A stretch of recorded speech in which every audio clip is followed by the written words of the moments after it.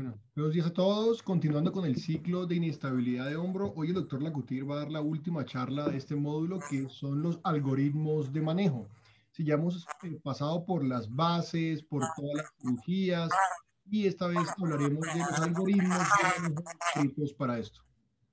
Doctor Lacutir, adelante. Bueno, el día de hoy vamos a hablar de algoritmo de manejo de inestabilidad anterior-inferior. Entonces, cuando uno como, piensa en algoritmo de manejo como diferentes opciones de variables en cual vamos a llegar como a un único desenlace, diferentes desenlaces. Lo que el objetivo de esta charla es tener como una sola, un solo desenlace al final, ver cómo intentar agrupar las diferentes publicaciones, a ver cuál podemos, cuál puede ser nuestro orden de manejo o orden mental cuando nos vendemos frente a una inestabilidad anterior-inferior. Entonces, la inestabilidad anterior-inferior es frecuente en las diferentes publicaciones.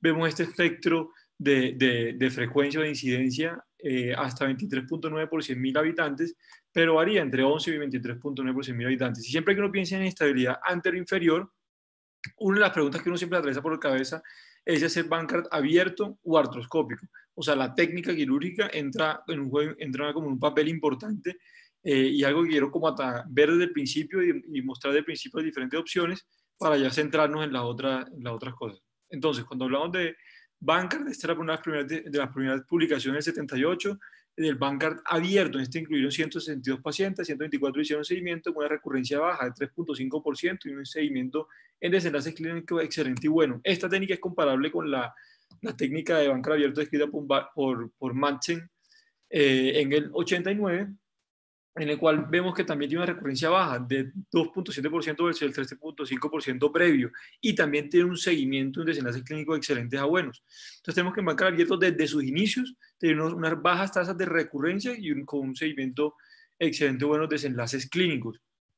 Eh, esto es importante tener estos dos artículos porque este va a ser como nuestro gol estándar a cambiar o contra el cual nos debemos comparar con los siguientes eh, procedimientos hay publicaciones posteriores ya van catastroscópico viendo que es variable. Tengo unas publicaciones van catastroscópico que tiene una recurrencia de 42%, como la que le estoy mostrando, esta es el 95%, que es una de las primeras, y después tenemos otras, sin embargo, que vemos que la recurrencia es menor, es del 7%. Este es un artículo publicado en Artroscopio del 97 de Félix Aguá.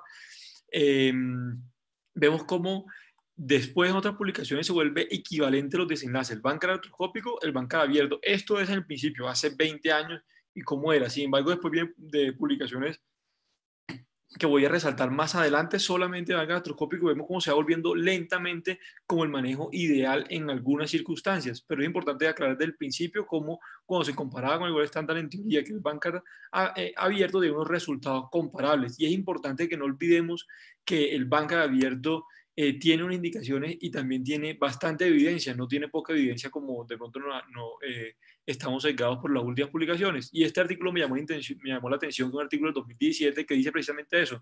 No olvidemos el banca abierto y miremos la evidencia. Y cuando decimos miremos la evidencia, miremos en tres aspectos importantes. El primero es ver el seguimiento a largo plazo que tiene el banca abierto.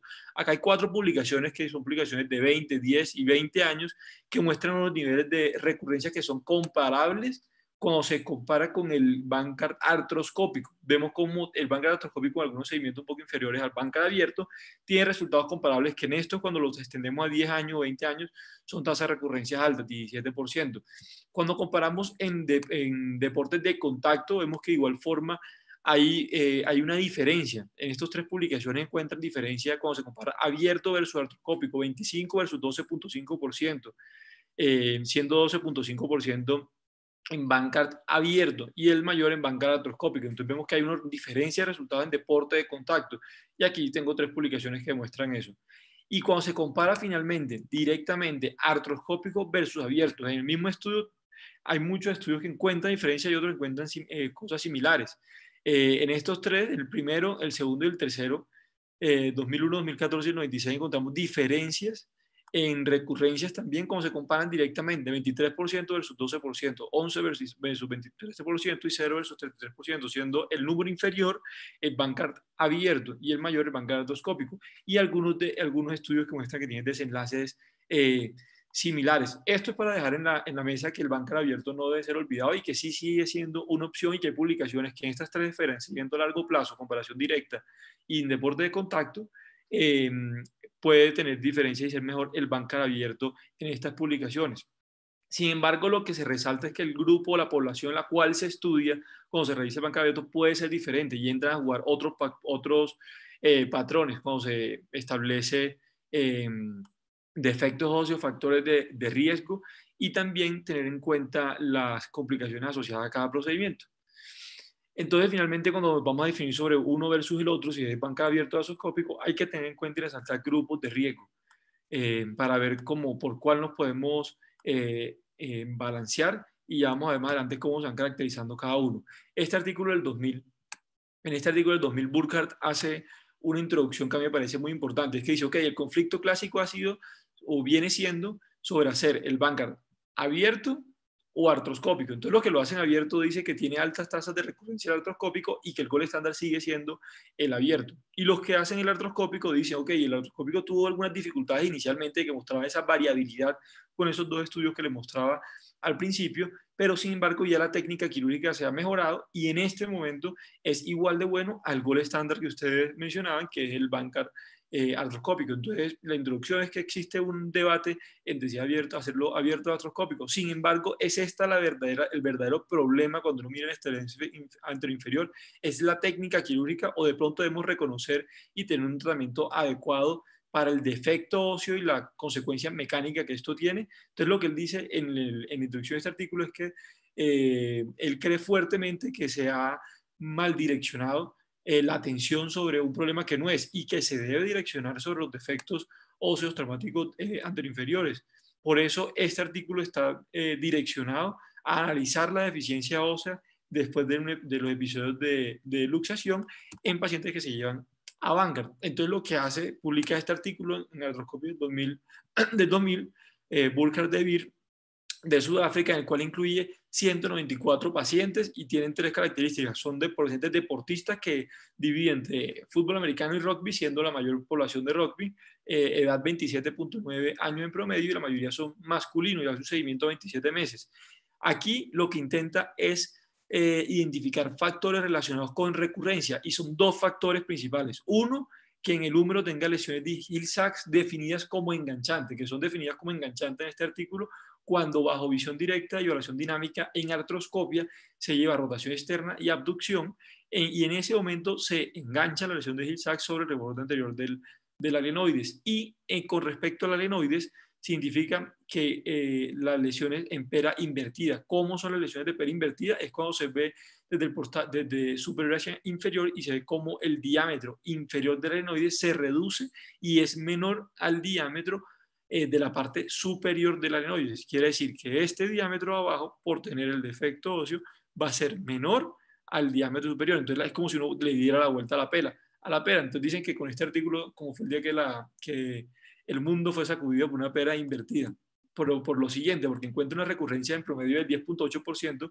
pero cuando compara con un defecto óseo significativo versus un defecto óseo no significativo, vemos la diferencia en recurrencias que es bastante importante, el 67% cuando tiene un defecto óseo significativo con las dos definiciones previas, lesiones enganchantes e identificación de pera invertida en hallazgo artroscópico, y el 67% y no defecto óseo el 4%, es una una brecha bastante importante con los desenlaces y aumenta aún más esa brecha cuando se, se mete defectos significativos más eh, rugby, más deporte de contacto, como pasa a 89% eh, de diferencia. Quiere decir que si tiene efectos significativos con alguna de esas dos definiciones más eh, jugador de rugby, vamos a tener que tener una recurrencia de 89% cuando se hace la cirugía lo cual es casi todos.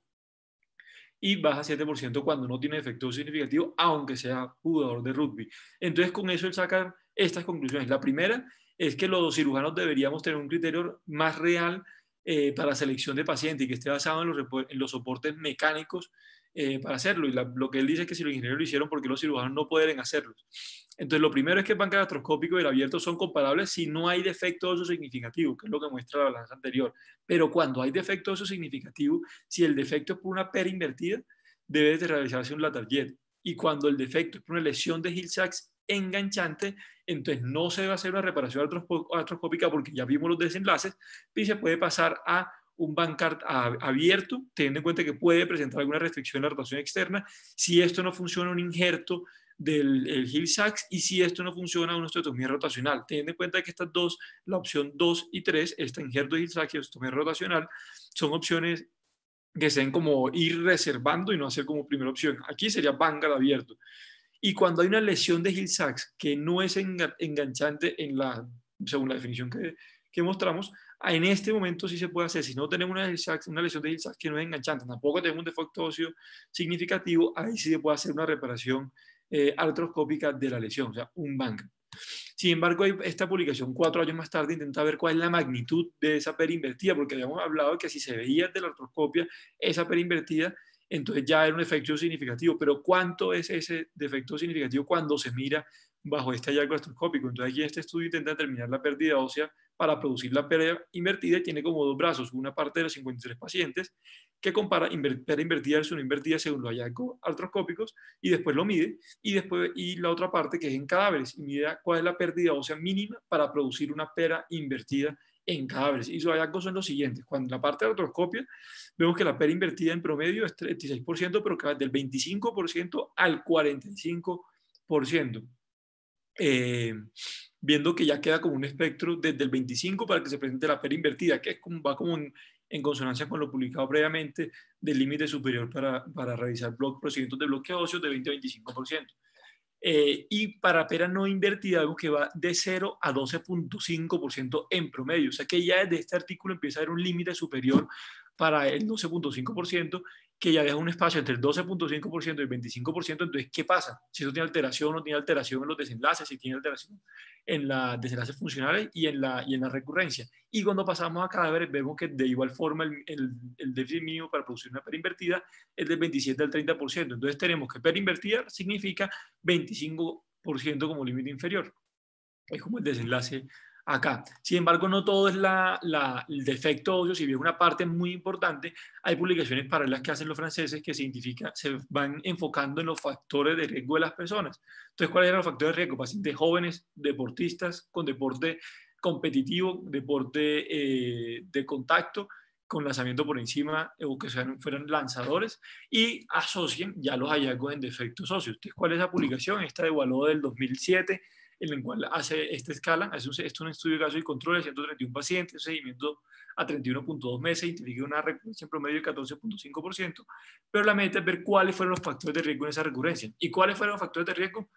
Pacientes con edad menor a 20 años que presentaban deporte competitivo, que el tipo de deporte fuera de contacto o lanzadores, que presentaban laxitud en el hombro, definida como anterior e inferior, y que para el hallazgo de defecto óseo, que ya Burger nos había mostrado como lo importante de identificar esto, en el 2000 eh, se realizaba por medio de, de, radiografía, entonces identificar la radiografía eh, en AP verdadera, pero en rotación externa, que se identificara una lesión de Hill-Sachs y cuando se perdía el contorno inferior esclerótico del adenoides. Entonces cada uno de estos le dio un puntaje según la magnitud del factor de riesgo y crearon esta escala, que es la escala de ISIS. Cuando esta escala tiene un puntaje de 6 sobre 10, el riesgo de recurrencia, eh, si, si, se hace artroscópico, es del 70%. Entonces aquí esto establece un punto de corte para no hacer procedimiento artroscópico porque el riesgo es muy alto y hacer procedimientos abiertos. Entonces ya tenemos eh, defectos óseos más, más factores de riesgo asociados. Y esto va creando como una, una, una zona gris que ya habíamos eh, referenciado en el artículo de Burja que, que estaba entre el 12.5 y el 25%. En este caso, cuando si bien es cierto, contienen, tienen factores de riesgo un ISIS mayor a 3, pero no hay un defecto óseo grenodeo, pero sin embargo cumple la definición de Burkhardt de enganchante, eh, de una lesión de Hill-Sachs enganchante. Acá tiene cupo otro procedimiento, otro grupo de procedimientos que es en Bancard más el uso de reemplizage.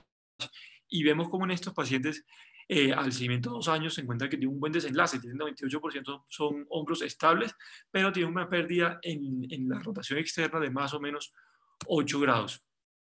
Entonces acá tenemos factores de riesgo con defectos óseos solos y aquí va creando, va apareciendo otro nuevo, otro nuevo concepto con, con diferentes publicaciones de, de ITOI principalmente, que empiezan a caracterizar, bueno, cómo son estas lesiones eh, inferiores, cuál es la localización, la extensión y la orientación de estas lesiones, como lo describe en el 2005, eh, cuál es la relación de estas lesiones con el desplazamiento del tamaño de la lesión ósea, como describe en el 2010, y finalmente, cuál es la relación de este defecto humeral con este defecto glenoideo y establece el track glenoideo, por dónde es que recorre el, la cabeza humeral con respecto a la glenoide. Ya esto lo habíamos visto en la charla pasada de, de Sánchez cuando habla de, de, mediciones, pero aquí se establece el concepto de track glenoideo que es muy importante para dar paso a este otro concepto que es las lesiones eh, es el paso de lesiones enganchantes y no enganchantes, que es lo que habíamos visto hasta ahora, a lesiones por fuera y dentro de la pista. Entonces, este es como un artículo de referencia que de 2014 que,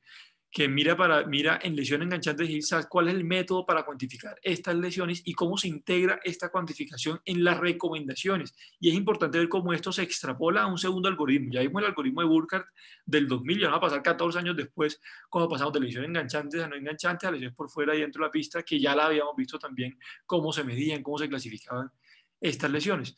Entonces lo que hacen finalmente en este artículo es dividir cuatro grupos. Estos cuatro grupos, listos, miren, ok, lo que tenemos hasta ahora es que un defecto eh, que está relacionado con malos, malos, desenlaces es cuando un defecto renal es mayor al 25%, que ya lo, lo, hemos visto hasta ahora. Ok, entonces si cumple, si es menor al 25% o mayor al 25%, vamos a ver otra segunda parte. Es si según la lesión de Isaac está por dentro, o por fuera de la pista. Y según esto vamos a proponer proponen un método de tratamiento. Entonces, el grupo 1, cuando una lesión menor al 25% y se, considera una lesión on track, entonces en ese grupo está bien banca artroscópico, que va de acuerdo a todo lo que hemos visto anteriormente. Cuando es un menor al 25%, pero además se considera una lesión off track, o sea, por fuera de la pista, aquí, ok, tenemos que adicionarle a este banca artroscópico el remplissage y vamos a tener buenos desenlaces, que fue lo que hicieron en el artículo de, de, de, de eh, que les acabo de mostrar. Cuando hay un, un déficit ya mayor al 25%, pero la, pero el, la lesión es on track, se considera un latar jet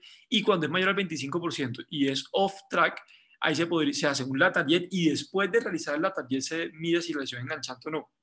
Si persiste siendo enganchante, es ahí como tiene cúpula realizando el procedimiento sobre la parte humeral. Y, y Toy publica eh, de, tres años más tarde este artículo que simplemente hace referencia o es un resumen de lo anterior, pero es chévere porque muestra de forma clara el algoritmo que les acabo de mostrar, algo que publican en el artículo previo, y hace referencia a algunas situaciones como de, eh, de zonas grises. Y es, eh, por ejemplo, cuando son lanzadores de contacto, eh, lanzadores o deportistas de contacto y tienen menos de 25% y además tienen una lesión off-track, que es como una zona gris ahí, en este grupo de pacientes, teniendo en cuenta el riesgo de recurrencia, para no limitar también la rotación externa, pudiera tener cupo o puede tener cupo en la tarjeta de entrada. Y vean que les digo que, que, es una zona especial porque tiene menos del 25% y estamos hablando de que ya le cabe la tarjeta, que va en contra tal vez de lo que habíamos mencionado en en el algoritmo anterior. Y cuando son lesiones mayor al 25% y si son off-track, se realiza la talla y persiste el off-track, ahí es cuando se tienen que pensar en los procedimientos adicionales en la parte humeral, como reemplizar un cierto nivel de, de Hill-Sachs, como los dos eh, eh, aclaraciones con respecto a la, a la, a la, al, al, algoritmo previo. Entonces, después de tener hasta, hasta ahora más o menos ya un algoritmo formado, tenemos un algoritmo que es el de, el de, el de ITOI, eh, este artículo es muy importante que lo publican este mismo año, en el 2015, en el cual eh, lo publica Tokish y, tiene, establece una relación en defectos menores al 20% cuál es su, re, desenlace y recurrencia a banca gastroscópico. Y es chévere este artículo porque no solamente hace referencia al desenlace principal como recurrencia, sino también a, los a otros desenlaces, como SEIN o la escala funcional. Entonces vemos que aquí lo que hace es que dividirlo en cuatro cuartiles y lo dividen con diferentes déficits de déficit óseo, 2.8%, 10.4%, 16, 24.5%, en promedio fue 13.4%. Y mira, según estos defectos óseos, cuáles son los desenlaces clínicos y en SEIN. Y vemos que hay ya una diferencia entre el cuartil 3 y el 4, vemos como hay un cambio en, la, en los desenlaces en escalas funcionales y en SEIN. Y cuando lo comparan específicamente con el, con el punto de corte de 13.5, vemos cómo hay una diferencia en falla eh, en escalas funcionales y SEIN. Entonces establecen que, o eh, consideran ellos como, como, como, como conclusión de este artículo, que es una super conclusión, es que la pérdida ósea mayor al 13.5% se está relacionada con alteraciones funcionales de igual forma, al igual que fallas, eh, que es lo que les resalto en esta, en esta parte de, de, de, acá abajo. Es como se comparan los cuartiles 1, 2 y 3, un 7.3% de recurrencia versus como se compara con el cuartil 4 que va hasta un 27.8% entonces debe, nos, hace bajar nuestro límite que está en 25. ¿Será que todos entonces debemos bajar a 13.5 a hacerle procedimiento óseo o de pronto creamos una ventana para realizarlo? Entonces hasta ahora hemos visto la perinvertida, la lesión enganchante de, de Burkhardt, después el track lenoideo y el, algoritmo de un track of track, tener en cuenta los factores de riesgo que nos provee la escala ISIS y ahora un defecto subcrítico. Entonces vemos como aquí es cero defecto, aquí el 20-25%, acá es estable y acá inestable y el espacio entre 13.5% y 20, pues 20 y 20% de efecto óseo ya se clasifica una zona de transición que entran a ver diferentes procedimientos. Aquí va a pasar por estos cuatro artículos para simplemente para mostrar que sí hay otra variedad de procedimientos en este nivel. Este es un artículo del 2014 que compara eh, para defectos una revisión sistemática de la literatura, incluye 26 estudios, 769 hombros, y mira estos procedimientos. Y quiero resaltar que el remplissage solo no muestra tanta alteración mejoría en la recurrencia, pero cuando se, cuando se une al Bankart, Bankart más remplissage, tienen mejores desenlaces de recurrencia con bajas complicaciones. Y vemos como las otras opciones de manejo, osteotomía Weber, injerto y artroplastia, tienen altas tasas de complicaciones, si bien algunas las tasas de recurrencia son comparables. Entonces aquí nos vamos tirando en este grupo de pacientes a Bankart versus remplissage. Hay, algunas, hay otras publicaciones como esta del 2018 en la cual hace una revisión sistemática para efectos subcríticos, que son los que les acabo de mencionar, y encuentran ellos en esta, en esta revisión sistemática que la adición de el reemplissage para el bancar disminuye la recurrencia eh, de inestabilidad. Entonces va como en consonancia como qué hacer en esta zona gris o en esta zona subcrítica. Eh, este es un estudio también que hacen en este, mismo, en este mismo año, que también compara directamente, pero este es un metaanálisis que se queda no con de estudios como el anterior, sino solamente con los tres estudios que comparan Bancar versus Bancar Replizzage y tiene estos desenlaces, pero también que son desenlaces a favor de el Bancard más Remplissage en este grupo de, de, de pacientes. Y eh, entonces, ¿cuándo deberíamos abandonar solamente el banca? ¿Cuál es el límite para pasar de hacer banca a la banca más reemplazage? Entonces, aquí en, este, en, este, en esta revisión sistemática, cuando, cuando eh, comparan 10 estudios versus 7 estudios de efectos clínicos de efectos solumerales, vemos que el punto de corte, según esta publicación del año pasado, debe ser de efecto menor al 15%. De efecto menor al 15% solo banca y mayor al 15% banca más reemplazage. Y este este procedimiento toma tanta fuerza que dicen, bueno, y, si de pronto más bien no más bien bajamos la vara y hacemos más bien la target en este tipo de lesiones subcríticas, lo que le mencionaba, si bajamos la vara del 20-25% y la bajamos a 13.5%. Y este estudio publicado el año pasado lo que hace es eso, son cuatro artículos, eh, son una revisión sistemática publicada hasta ese momento, incluye cuatro artículos, 379 pacientes, encuentra diferentes en recurrencia y complicaciones, pero no encuentra diferencias en escalas funcionales, algo de movilidad ni dolor. Y lo que encuentra entonces que la recurrencia es igual, pero hay diferencia en complicaciones. Entonces, si tenemos unos desenlaces similares, pero mayor complicaciones, de pronto es mejor quedarnos en esta parte de subcrítico, de efecto subcrítico en banca más reemplazage.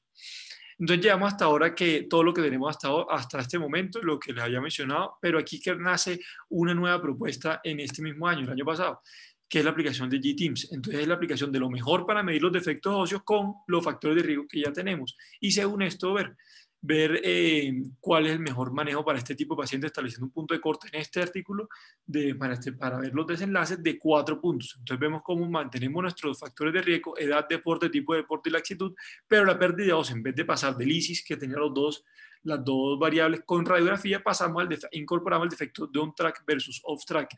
Y al calcular este defecto, como tiene importancia principalmente en la disminución esto, a la disminución del uso de la target.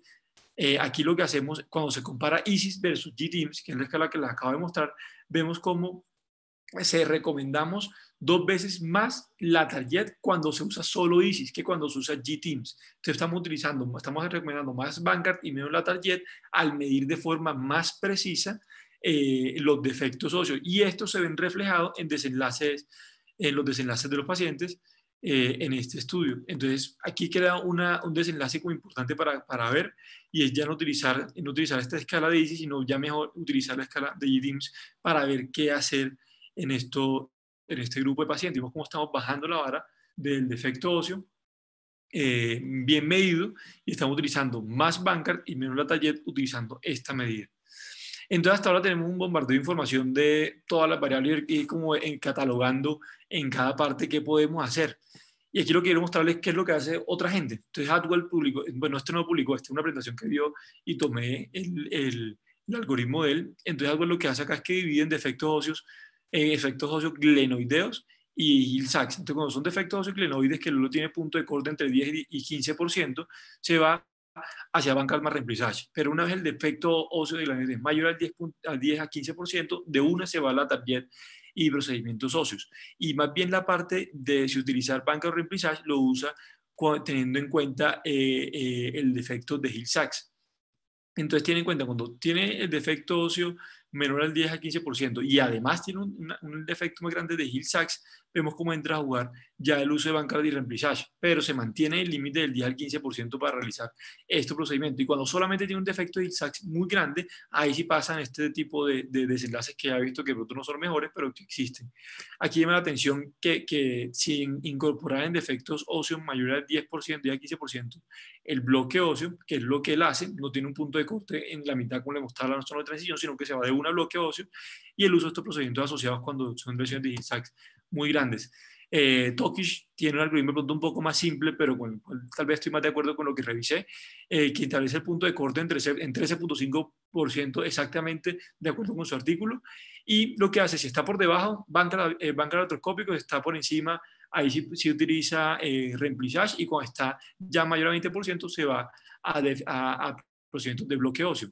Y Provencher, en este artículo del 2019, hace algo muy similar. Lo clasifica en menor, a 15, menor o mayor a 15%, que es lo que hace eh, Adwell también, y después clasifica enganchante o no enganchante. Si es menor a 15% y es enganchante, bancar más reemplazage. Si es menor a 15% no es enganchante, bancar solo. Mayor a 15%, ahí sí eh, lo divide, pero van de una con, con eh, reconstrucciones de, con, pacientes, con procedimientos de bloqueo que es muy parecido a lo que hace a lo que hace algo. Pero ¿qué pasa cuando nosotros vemos qué es lo que hace la gente en general? Este es un artículo publicado el año pasado que es una, le hace como una encuesta a diferentes cirujanos de Estados Unidos y les pregunta eso. Y lo que encuentran ellos es que hay inconsistencia principalmente cuando hay déficit óseo humeral solo o cuando hay pérdida ósea bipolar, lo cual llama la atención porque hay diferentes publicaciones específicamente para intentar cómo objetivizar la pérdida ósea bipolar. Pero cuando no hay pérdida ósea y cuando hay pérdida ósea que solamente y cuando hay pérdida ósea mayor a 20%, ahí están claros. Pero qué hacer en estas partes medias es lo que hay mucha variabilidad en la respuesta lo que pueden eh, hacer. ¿Y cuáles son los factores que influyen más estos tovistas para diferenciarse para uno o para otro? Por otra parte, este artículo publicado este año está como en consonancia con eso, es que la elección del bloque óseo, pérdida ósea mayor a 21%, edad y demanda de actividad, lo que hemos visto, pero no tiene en cuenta otra vez el track eh, principalmente, que va en consonancia con lo, con, con, lo que les acabo de mostrar que en la zona gris tampoco medían los defectos bipolares. Entonces yo creo que al final nos quedamos con, con este algoritmo que es el algoritmo del doctor González, eh, que es pacientes que tienen un defecto óseo mayor al 25%, la TARGET, pacientes con defecto óseo menor al 13% utilizando el límite de Tokish eh, y lesiones on-track, banca artroscópico, pero hay una zona amarilla en este semáforo que son los pacientes que los pacientes tienen lesiones entre 13, eh, del 13 al 25%. Entonces, en estos pacientes tiene cupo el bancar abierto que ya hemos visto y no debemos olvidar, por eso puse el, el, estudio inicial. Eh, hay, existe evidencia en largo plazo al comparar con deportistas y cuando se comparan hombro a hombro, artroscópico versus abierto. Entonces, yo creo que esta es la población para realizarse. Y tener en cuenta aquí, la, que tiene más importancia, la medición correcta de los defectos óseos eh, la, la medición por dentro y por fuera de la pista y la asociación con factores de riesgo, o sea, el GTIMS para realizar eh, el bancar eh, abierto en este punto. Listo, doctor.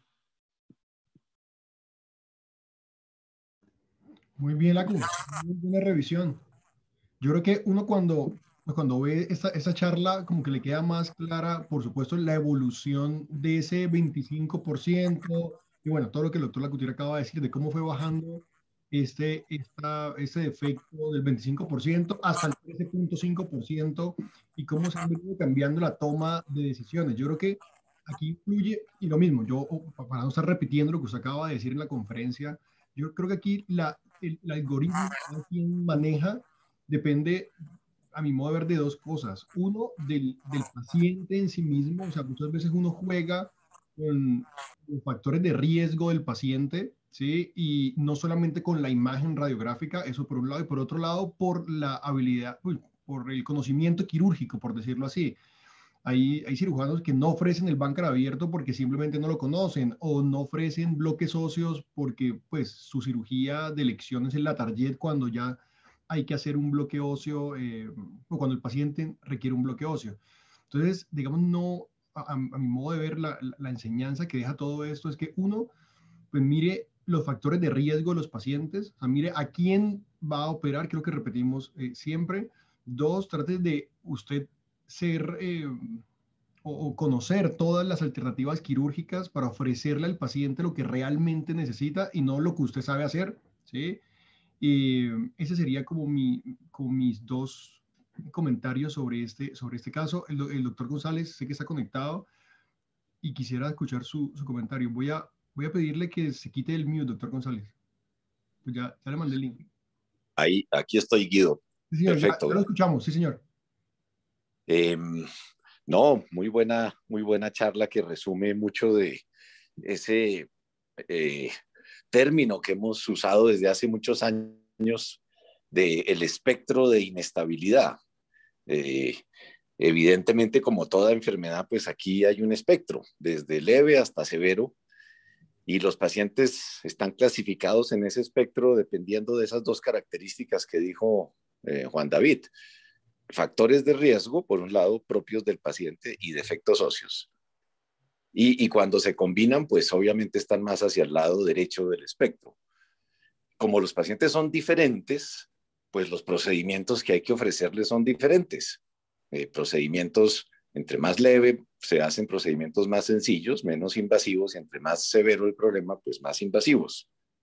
A mí me, me, encanta ver que la ponga lo del el semáforo nuestro eh, del bancar abierto, porque yo creo que evidente, ahí hay evidencia eso. ahí hay evidencia al respecto de esto y creo que dentro de ese espectro de inestabilidad, el bancar abierto tiene su cabida, tiene su cabida eh, en esa parte intermedia. Yo creo que es, es, es muy útil, funciona bien. Eh, y como dice Guido, lo que hay que hacer, y afortunadamente aquí lo seguiremos haciendo, ojalá por mucho tiempo, es saberlo hacer, saberlo hacer. Eh, una, última, una última cosa en ese semáforo, Lacu, con el tiempo, y seguramente Guido pensará algo parecido, eh, como todo el mundo ha venido bajando en esto de los defectos subcríticos, pues nosotros también, o yo también, yo, yo dudaría, yo, yo pondría ahí un poquito más entre 13 y 20 o 21%. A mí me, cuesta, me costaría trabajo hacer un bancar abierto en alguien que tenga más de 20% de defecto, eh, de defecto en la glenoides. Eh, creo que ya está uno empujando, así como, como puede estar uno empujando el límite del bancar artroscópico solo, eh, cuando pasa de 10%, pues, y, específicamente cuando pasa de 13% según el estudio este, yo creo que uno está forzando un poquito el bancar abierto cuando pasa de 20%. Yo, yo, si uno quisiera simplificar esto, yo casi que pensaría que de 0 a 10% queda uno tranquilo con el bancar artroscópico solo, de 10 a 20 ya consideraría yo el abierto o el artroscópico más remplissage, y de 20 en adelante la tarde. Yo creo que vamos a terminar poniendo números redondos más temprano que tarde. Muchas gracias. Sí, señor, de acuerdo. Sí, digamos que ya, ya es difícil que alguien con un defecto del más del 20% no piense en hacer un bloque óseo, llámese la tarjeta o llámese cualquier otra de las técnicas que mencionamos anteriormente. Eh, sí, yo, yo, estoy de acuerdo con el doctor González, ya 25% ya de verdad que es mucho, yo lo bajaría al 20% o incluso un poco menos eh, para pensar en un bloque, en un bloque óseo. Eh, si alguien más tiene alguna pregunta, si no, dejamos acá.